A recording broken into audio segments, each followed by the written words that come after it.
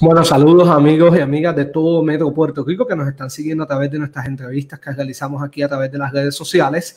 Este, y pues donde discutimos los temas que son de importancia para el país. Sabemos que pues estamos todos este, eh, pendientes a la historia pues de, de la Delta Rosa sobre la joven Keisla Matlen Rodríguez Ortiz, que pues estamos tratando de seguir todos los detalles para que ustedes estén informados, pero también hay otras noticias que pues están ocurriendo en el día de hoy.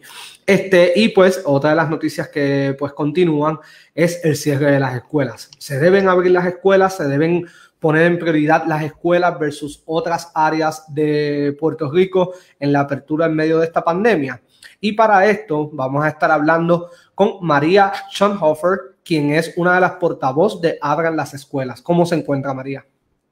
Hola, muy buenos días y gracias por tenerme. Me encuentro bien, gracias a Dios. Espero que todos ustedes también. Muchas gracias, gracias por estar con nosotros. Schoenhofer, este, pues vamos al detalle, vamos a explicar primero en términos generales vuelven a manifestarse. Ya ustedes estuvieron este, en, la, en, la, fortaleza y entiendo que este fin de semana vuelven a manifestarse exigiendo que se vuelvan a abrir las escuelas.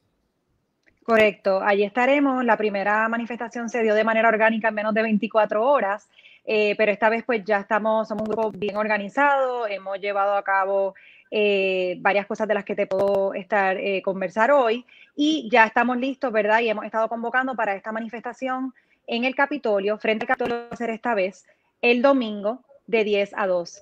De hecho, ah, estuvimos allí esta mañana, estuvimos reunidos con Policía Estatal y Municipal, todos están eh, eh, um, ¿verdad? Están, dispuestos a ayudarnos, saben lo que allí va a estar ocurriendo, o sea que los tenemos de nuestro lado en el sentido de que van a estar cooperando con nosotros, ayudándonos a cerrar un carril, eh, ayudándonos con el tránsito, va a ser algo bien organizado. y pues también hemos recibido algunos mensajes de personas que pues quizás no se sienten todavía muy seguros de, ir a San Juan y de estar allí entregando algo en persona, pero hemos hecho un esfuerzo adicional y vamos también a tener en ese carril cerrado un carril de servicarro. Eh, ¿Para qué? Para que esas personas que no, ¿verdad?, no puedan bajarse del vehículo, eh, por la razón que sea, pues puedan hacernos llegar esos libros que estamos pidiendo que nos lleven eh, como manera de manifestar ese año escolar perdido, ¿verdad? Dejarle ese año escolar allí frente al Capitolio, a todos los políticos que pues de cierta manera han privado a nuestros niños y jóvenes de una educación eh, completa, por así llamarlo. Eh, disculpe, que le, disculpe, que le, interrumpa, Eso, eh, la diferencia de esta manifestación es que en vez, de, en vez de ser en la fortaleza, esta vez va a ser en el Capitolio. Correcto, va a ser frente al Capitolio y lo que estamos pidiendo es que la gente lleve sus libros, maybe una libreta, hay gente que se ha puesto creativa y ha hecho computadoras en cartón para ¿verdad? representar ese año virtual y dejarlo allí. Eh, creo que es importante que mencionemos que esos libros van a ser donados.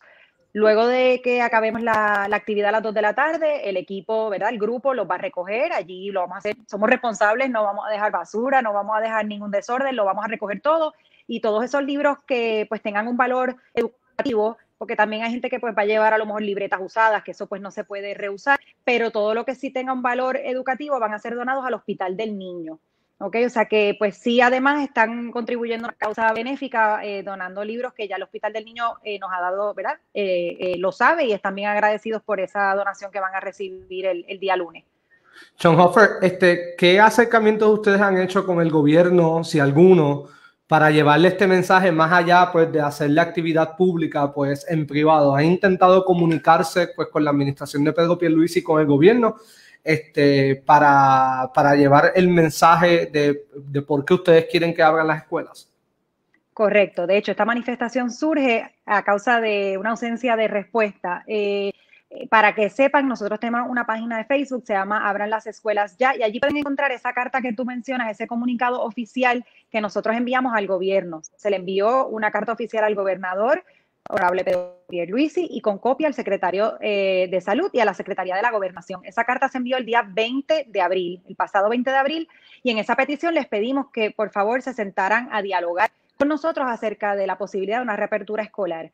Hasta el momento no hemos recibido ninguna respuesta, eh, ninguna invitación a reunión, y pues ante esa ausencia de respuesta y al ver cómo reaccionó la primera dama de los Estados Unidos y el secretario de Educación Federal, que eh, cabe recalcar que es puertorriqueño, se llama Miguel Cardona, pues le hicimos llegar también a ellos una comunicación oficial al gobierno federal, a Casa Blanca, a través de, como le menciono, del secretario de Educación Federal y de la primera dama, eh, pidiendo que, que, nos apoyen en la causa de verdad y que conozcan la, eh, la, situación que está pasando Puerto Rico con relación a la, a educación.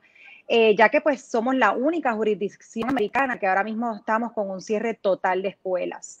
Eh, ¿verdad? Así que sí, sí se ha hecho llegar cartas tanto a gobierno local como federal. Eh, hasta el momento no hemos recibido una respuesta eh, oficial de ninguno de los dos. Sí recibimos acuse de recibo del gobierno federal, o sea que sabemos que lo están canalizando, ¿verdad? A la persona, a las personas pertinentes, pero respuesta formal todavía no hemos recibido. Este, le quería pedir una reacción sobre eso. La primera dama de los Estados Unidos este, se expresó sobre la situación en Puerto Rico específicamente. ¿Ustedes tuvieron que ver algo con esa comunicación? Este, ¿Ustedes le hicieron acercamiento a la Casa Blanca? ¿O cómo usted ve ese, ese mensaje que ella envió?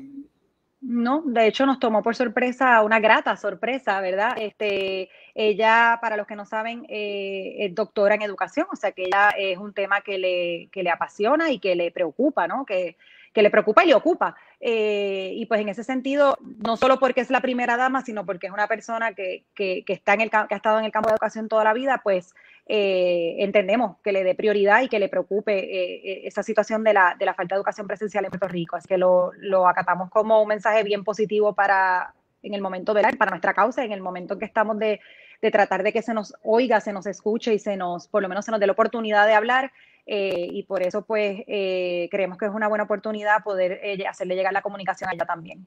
John Hoffer, este, usted es madre, ¿verdad? Sí, tengo, soy madre de dos varones pequeños.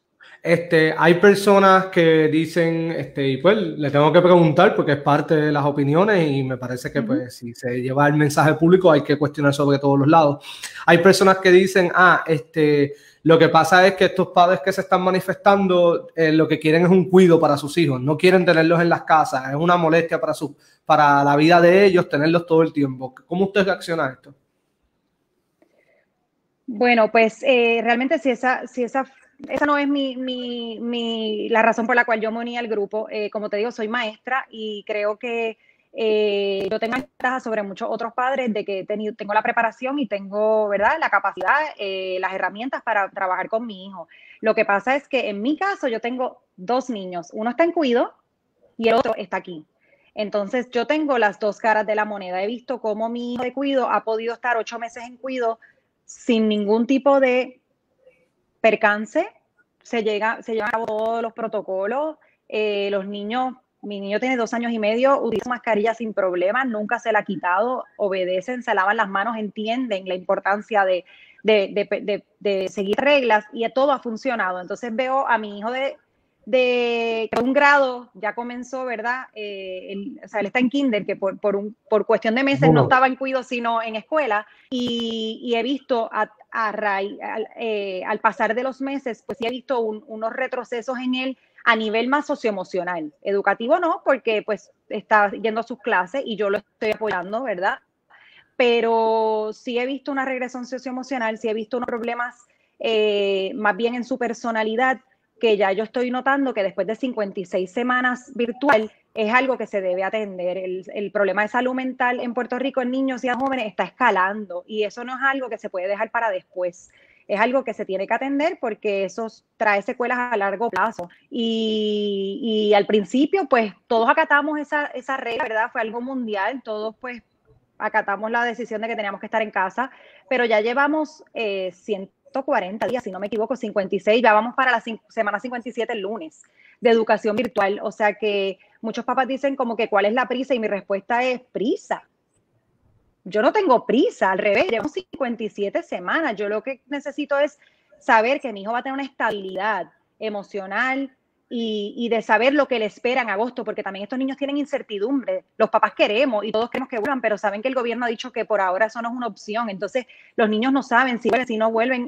Por lo menos mi hijo no ha pisado su plantel escolar, no conoce la escuela porque fue una escuela nueva. O sea que muchos de ellos ni siquiera han podido ver sus maestras en persona, no conocen a la mitad de sus compañeros en persona sí saben sus nombres, pero más allá de eso no saben mucho más. Y, Y todo eso en los niños pues va creando unos vacíos que, ¿verdad? Yo como maestra no soy, no psicóloga, no soy profesional de, la, de la salud mental en ese aspecto, pero sí tengo una preparación básica del desarrollo eh, del niño y entiendo que la parte eh, de la socialización y todo lo que en la escuela ocurre, que no ocurre a través de una computadora, es tanto o más importante, por lo menos para las primeras edades, eh, que aprender a sumar, restar este, ciencias, matemáticas y español. O sea, porque el niño, pues en la escuela ocurren muchas, muchas dinámicas importantes para su desarrollo de la personalidad. Eh, tienen que aprender a, llegar a, ¿verdad? Lo que le llama uno a, llegar a acuerdos. Mira, pues yo te presto lápiz, me das un dorito a cambio. O sea, todas esas cosas parecen bobas, pero los niños necesitan interacciones para su desarrollo saludable y ya después de un año plus ¿verdad? Eh, virtual, pues entendemos que ya en agosto ellos necesitan regresar presencial eh, de forma híbrida, si es necesario, con número de estudiantes reducido. Nada de eso lo estamos discutiendo, ni siquiera estamos discutiendo lo de los que ahora ya el CDC recomienda tres. Eh, todo lo podemos dejar así, no tenemos problema. Que el gobierno ponga las reglas, pero que traten de, ¿verdad?, de, de, de, de esas recomendaciones nuevas y de considerar la importancia de, la salud mental en nuestros niños y que necesitan ese, esa interacción cara a cara eh, con, sus pares y con, su, y con los, de las o el maestro, eh, el, psicólogo escolar. O sea, es que en la escuela hay un, equipo disciplinario que, es bien necesario para los niños y, después de un año y medio, pues ya estamos viendo entonces que los hospitales psiquiátricos se llenan eh, y hay otros problemas que también hay que no podemos ignorar, que no podemos ignorar. ¿Usted entiende que el gobierno debería, ya para ir acabando, debería tomar en consideración de sesgar otras áreas donde tal vez se han identificado mayores contagios que las escuelas?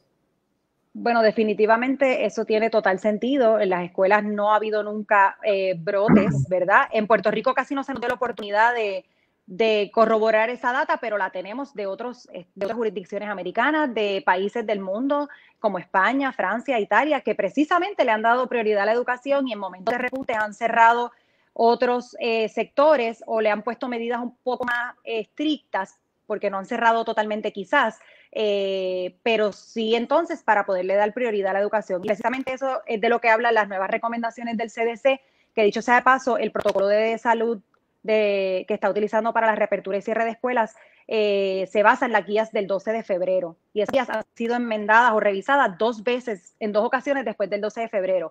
Eh, o sea que por lo menos pues hay que leerlas y ver por qué, ¿verdad? El CDC, que no son, o sea, son bien profesional y científico, están recomendando eso eh, que se le dé prioridad a la educación, que cuando haya que cerrar por repuntes o porque la cosa está bien roja, como, como aquí nos pintan el mapa, pues hay que ver dónde realmente están ocurriendo esos brotes, esos contagios, y se sabe que en los colegios y en las escuelas no es. Pueden ser en los lugares de trabajo, pueden ser en otros lugares, y pues sí, creemos que deben de, de atender entonces esos sitios, esos sectores para poderle dar la prioridad a la educación que tanto lo necesita este país.